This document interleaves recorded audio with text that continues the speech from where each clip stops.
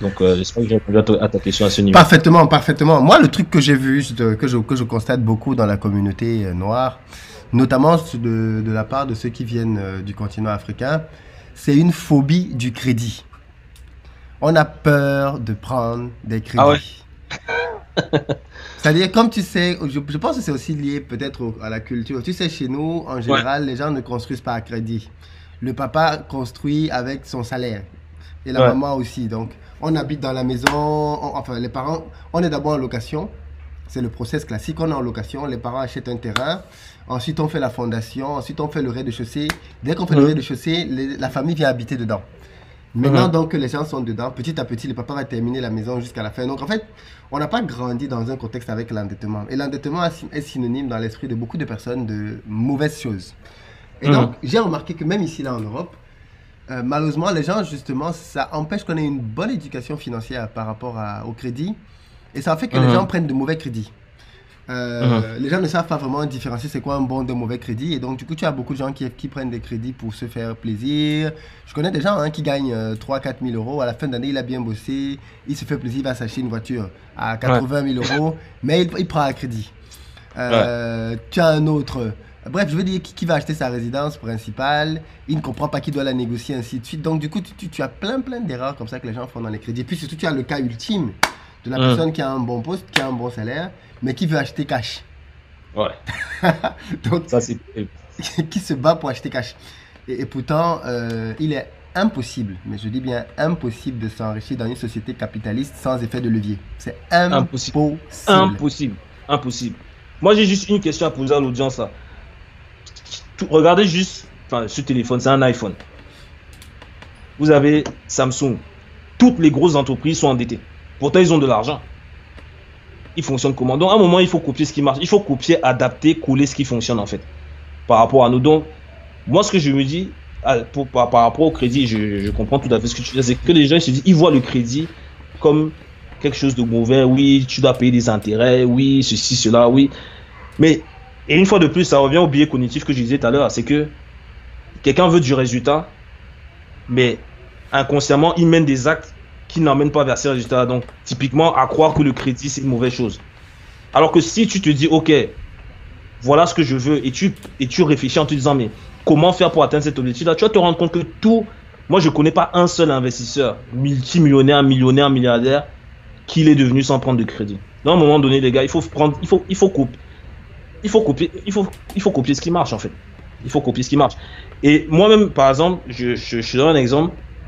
Typiquement, ce téléphone-là. Moi, en fait, j'utilise la façon dont je fonctionne, c'est que je me dis, quand je vais, quand je vais m'acheter quelque chose, je me dis, quel est l'investissement qui va me payer ça? Ce téléphone-là, c'est une place de parking qui paye ça. C'est une place de parking. C'est mon parking que j'ai acheté quand j'étais étudiant. Euh, enfin, quand j'étais étudiant au, au commissariat au compte enfin pour devenir expert comptable, c'est un parking que j'ai acheté qui paye ça 80 euros par mois, c'est-à-dire l'équivalent de 100 et quelques dollars par mois. Il n'y a aucune de mes dépenses que je paye de ma propre poche, c'est toujours un cash flow qui paye. Donc, c'est de voir ça en fait, il faut voir le crédit comme un accélérateur. Un accélérateur, c'est-à-dire c'est comme si tu prends une avance dans le temps. Je te, donne l'exemple d'un client à moi. Il nous voit en coaching, il me dit euh, très bon salaire, 4000 hein, dollars par mois, etc il me dit, Florian, euh, j'aimerais investir en immobilier, par... mais par contre, j'ai zéro.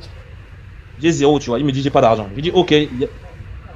Sur mon fonds, c'est marqué financement gratuit. Tout le monde me connaît pour ça. Moi, je dis que non, s'il te faut l'argent, on va trouver l'argent, il n'y a pas de problème. Et il commençait un peu à. Il était un peu réticent et je lui dis, j'ai posé une question, je lui dis, euh, bon, pour acheter, pour acheter ton, ton, ton bien immobilier, il te faut à peu près 20 000 dollars de mise de fonds, bon, sachant qu'il y a des d'apports, sachant qu'il y a des moyens même de récupérer ça, bon, je vais pas trop rentrer dans les détails. Il me dit oui, je lui dis bon, par rapport à ton salaire, ça te prendrait combien de temps pour avoir ces 20 000 dollars? Il me dit deux ans. tu vois? Je lui dis ok, deux ans. Donc tu vas rester pendant deux ans à ne rien faire, sachant que l'immobilier ici, bon, on va, je, je, mets ça entre, entre parenthèses parce qu'avec la crise, c'est un peu, euh, c'est stabilisé. Mais ici à Montréal, en moyenne, tu prends entre 7 et 11% par an. Tous les propriétaires à Montréal, en moyenne, là, ils ont fait une moyenne. Hein. sur l'île de Montréal, ont pris en moyenne 35 000 dollars. Donc tu, tu, te dis, en un an, tu prends 35 000 dollars sans rien faire, sachant que les 35 000 dollars, tu peux les récupérer. Hein. C'est pas genre c'est 35 000 dollars et tu es obligé de vendre la maison pour toucher le cas, c'est que tu peux aller voir la banque, tu dis, oh, mon appartement a pris 35 000 dollars ou mon immeuble a pris 35 000 dollars, redonnez-moi une partie de ce montant-là, il te donne sans problème. Tu vois, donc moi, je l'ai, moi, je l'ai vu, je lui ai dit, écoute, ça te prend deux ans pour avoir les 20 000.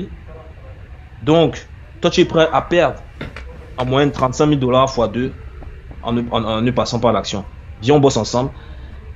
On allait lui trouver 40 000 dollars en financement créatif. Il a acheté deux condos, donc deux appartements avec ça. Et son cash flow rembourse le crédit du 40 000 dollars. Clair, net. Donc, c'est pour dire que le crédit, et tu vois, mais pourtant, là, il a, et en plus, il a fait deux acquisitions. Donc, s'il partait de son scénario normal, qu'est-ce qui se serait passé? Il aurait mis 4 ans. Parce qu'il aurait eu ses 20 000, allez hop, après encore 2 ans. Donc, c'est ça. Donc, clairement, le crédit, c'est pour moi, c'est. Non, sans crédit, sans crédit, sans crédit. En, en, ce moment, tout est, enfin, le crédit, c'est gratuit, quoi. Quand on voit l'époque de nos, de parents où nous parlaient des taux à 18%, 25%, là, c'est là, c'est limite, c'est du bénévolat, quoi, tu vois. Donc, il faut clairement en profiter. C'est vrai que les taux sont très très bas ces derniers temps, vraiment très très bas. Et ça, c'est vraiment cool. Et il faut pouvoir en profiter. Donc, c'est bien que c'est bien que tu, tu le rappelles.